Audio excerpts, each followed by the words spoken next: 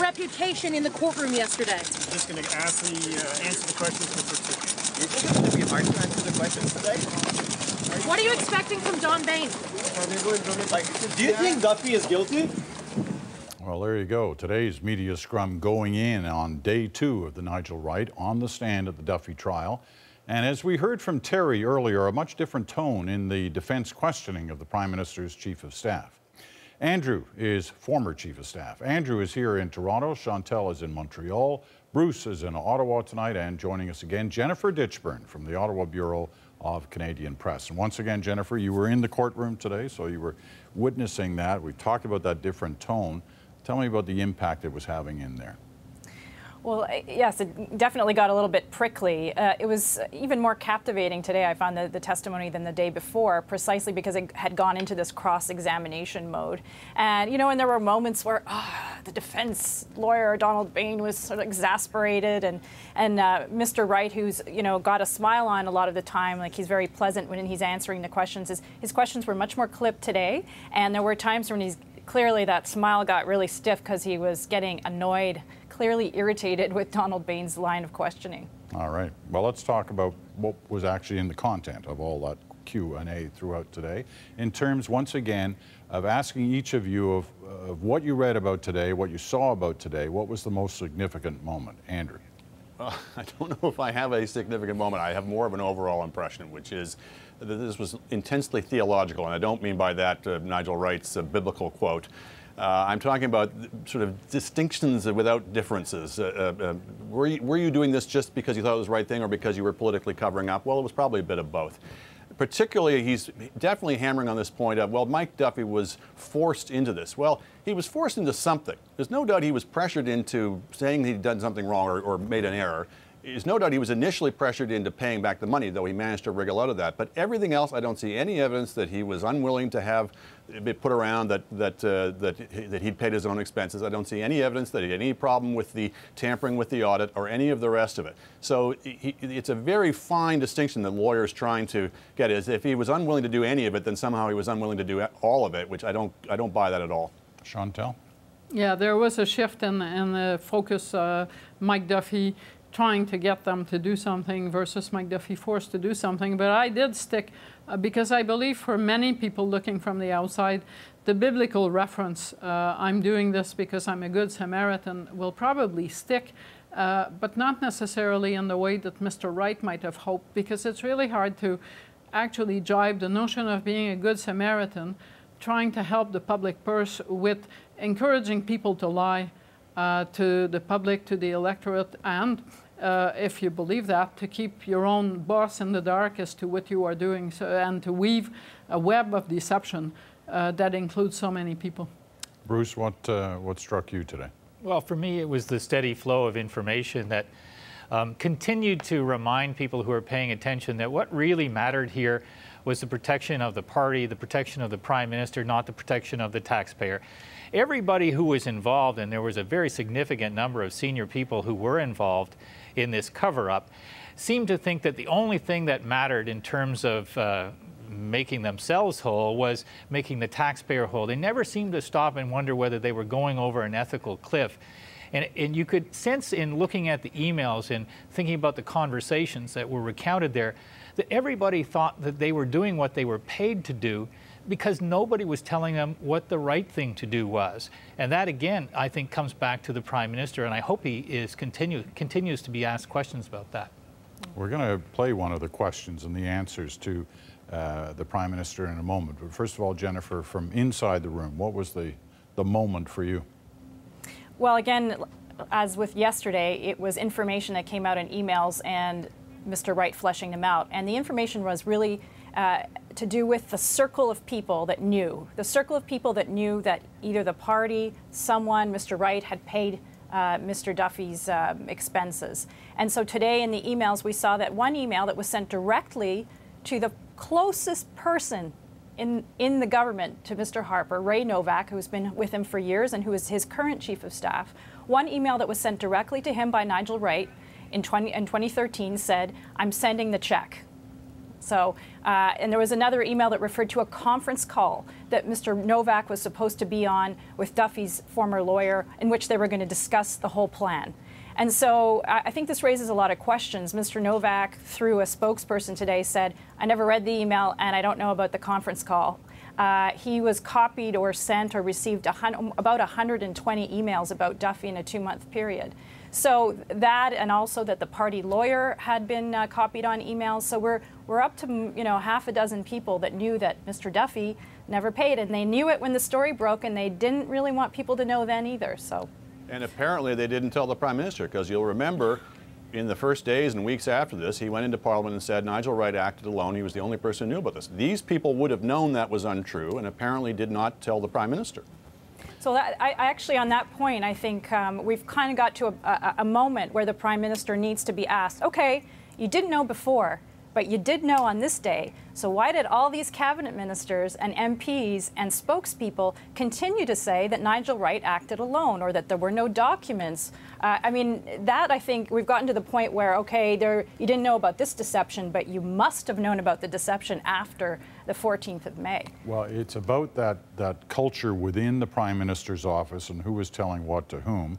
Uh, that was the basis of a question that uh, Jordan Press, one of your colleagues at Canadian Press, asked Stephen Harper yesterday. Now, you, you saw earlier in the program, Terry used a Q&A with, uh, with uh, Stephen Harper as well. This one, uh, we're going to let the, this one run in its, uh, you know, give it the full blossom here so you can hear it all, the full question and the answer, because it's very interesting when we're talking about media lines. Here it is, watch. Uh, so the court this morning uh, in Ottawa heard uh, at great lengths about the, the lengths that your staff in the Prime Minister's office went to to uh, sweep Mr. Duffy's you know expenses under the rug, uh, to pull him from the independent audit that the Senate had ordered, to to have the party repay some of his funds, and even to develop an entire media strategy around it. The other day you had said, obviously, as leader, nothing is ever going to go perfectly well. But given all that we've heard this morning in public testimony, what do you think this says about the culture in your office, and how much do you feel that you had a role in creating that culture? Let me be very clear once again, and I said so publicly. Um, I did not believe Mr. Duffy's expenses could be justified, and I thought he should repay them. And Mr. Wright was working with Mr. Duffy to make sure he did repay them, and that's what we were we were told was going to happen. When I found out that is not what happened, that in fact they'd been repaid by somebody else, we made that information public, and I took the appropriate action against uh, against people who were involved in that. So when we talk about media lines, politicians uh, prepare for scrums and news conferences, and they have certain things they want to say, almost no matter what the question is. But this is a very key question at a key time on this story and the answer really didn't go to where the question was. What do we make of that kind of dodging and weaving, Andrew? Uh, he doesn't have an answer, is the short answer. This has always been the issue, much more than what did the Prime Minister know and when did he know it. It's the culture is established by the person at the top, the expectations, the values, the procedures, etc. If they chose not to tell him, all of these people chose not to tell him anything what they're about, that's also part of the culture. But so is the, the lies, frankly, that they told to the rest of the public. People don't do that without some expectation that that is what their, their job is supposed to be. Chantal? Well, it's also the, the section of the answer that says, and I took action against the people involved. I'm not sure what that means uh, because a lot of the people involved, the people who are in these emails uh, going back and fro and who knew or who were in the loop are still very much around. I want to show you a, another clip. This goes back to 2005. Now, I know the issues were different, sponsorship case and uh, what we're witnessing here now on the, on, on the Duffy uh, Wright affair. But the question back then in 2005 was to Stephen Harper. I asked him, he was the leader of the opposition, uh, that he kept increasingly sounding like he was suggesting that Paul Martin was corrupt because he wasn't answering questions um, directly that were put to him. Here's that exchange. Watch this. The impression is clearly left that your party, and then sometimes you personally, feel that he personally is corrupt. My, my difficulty with the Prime Minister at this point, Peter, is that I don't think he's been forthcoming and honest on uh, fairly simple questions when there appear to be contradictions. Uh, my instinct is when somebody doesn't ask or answer questions, even simple and fairly innocuous questions in a straightforward manner, there may be something else. As they say, what goes around comes around. But Bruce, when you listen to that, well, I don't think that, I mean, the substance uh, that was being discussed was different, but the point is exactly the same. And I can't help but remember that the this prime minister's first, I think it was his first piece of legislation, certainly it was his marquee piece of legislation was called the Accountability Act. And if anything, what we've seen is a, an attempted masterclass at avoiding accountability uh, in terms of what's coming out at this trial. I, I, also look around the, the group of people who are familiar, and many of them are still on the public payroll. Several of them are in the Senate. Some have been promoted. Um, and that, I think, still is a question that should go to the Prime Minister. Why do you continue to believe that it, the public should be paying these people who fudged an audit, who cooperated in an effort to lie to the public and to the news media and to Parliament about what it was that actually happened? Uh, this is a very serious matter for the Prime Minister. The only person who left the government was Nigel Wright. And I was reminding myself of the language that the Prime Minister used, not immediately upon learning of what Mr. Wright did, but it took several days, let's be clear. And in that interim period, the government had spokespeople talking about what a courageous person Mr. Wright was and how he had done the taxpayer a favor. And when the Prime Minister accepted Mr. Wright's resignation, he said, I accept that Nigel believed he was acting in the public interest, but I understand the decision he has taken to resign. I want to thank him for his tremendous contribution to our government over the past two and a half years. Period. End of quotation. There was nothing in there that would allow anybody to believe that the Prime Minister was uncomfortable with the culture that existed in his office and was prepared to do anything about it. And, you know, it was a couple of months later he then kind of changed the story, suggesting he'd fired him. Uh, well, and, it wasn't and, a resignation. And the grounds were that he deceived him, quote unquote. Well, if the Prime Minister is to be, to be believed on his I didn't know anything, then all of these people deceived them, but none of the other ones, to take up Bruce's point, have actually paid the price for this.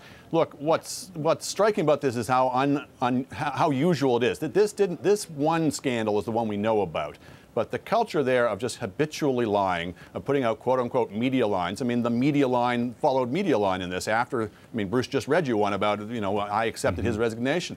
Uh, this is, that's the real root of this is it's not just this one incident. This, this is a, a culture in, our, uh, in high places in our politics. Do you want in on this, Jennifer? Well, I was going to say on that point, if I were, say, John Baird or James Moore, I would be hopping mad at people in the Prime Minister's office for letting me go out in public and say things about the Duffy affair that turned out not to be true.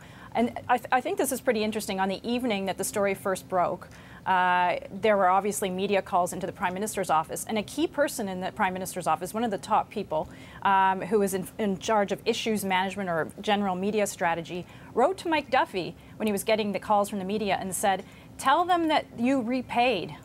Tell them you repaid. So even the night that the story was breaking, and this was going to become the biggest story in Canada mm-hmm. for quite a while, they were still telling him to lie. Okay, we got to take so. a, a we got to take a quick break. But Chantal, on this point, you want to uh, make one? Uh, yes, I, I, actually want to make uh, a couple of points. Uh, the first uh, being that where this is worse is probably because Stephen Harper was elected on the basis of an implicit promise to fix all that, as uh, Bruce pointed out. And two, yes, it's true that it's not the same as the sponsorship scandal. None of the people that were named or by far or close to the sponsorship scandal were Martin people or Martin appointees. Every single one of the players we're hearing about uh, was handpicked by Stephen Harper. All right quick break now, but we'll be back with this question. The campaign has been on for almost two weeks now. What's the impact so far?